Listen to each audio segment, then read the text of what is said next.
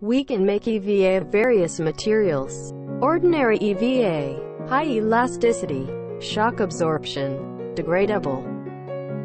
Ordinary EVA, with certain flexibility and affordable price.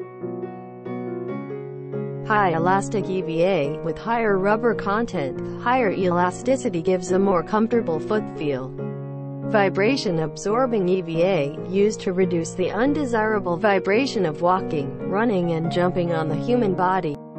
Degradable materials under certain conditions will degrade into small molecules or be decomposed by microorganisms after a certain period of time which overcomes the shortcomings of ordinary materials that are difficult to decompose and rot.